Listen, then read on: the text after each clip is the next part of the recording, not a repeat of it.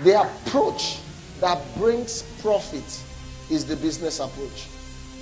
If there must be profit, you must have a business mindset. Jesus says, I go after my father's business. So, so he said categorically there that his father's business because he has to bring profit to his father.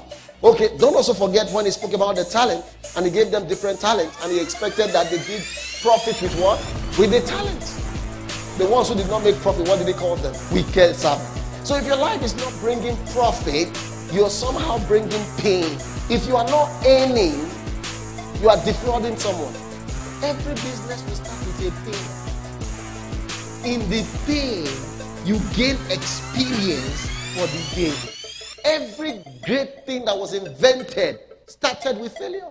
If you don't fail, you cannot know. For customer service, there's a there's a golden rule that says all customers are right. Are they always right? No, but they are right as concerning customer service because you need customers to remain in business.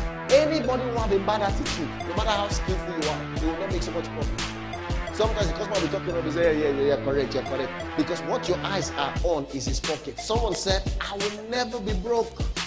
They asked him why. He said, people always have problems.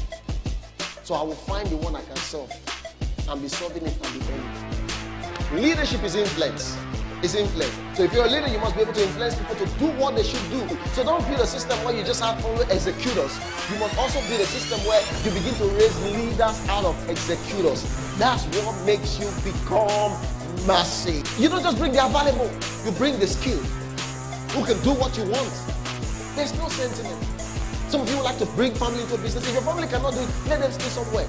Let them join you to eat from the profit. But they should not come and mess the business up. But they've been laboring for this money.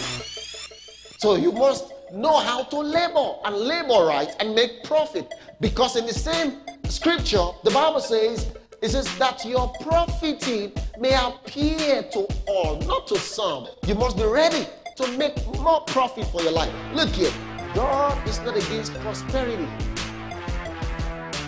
God is against greed. God is against losing focus.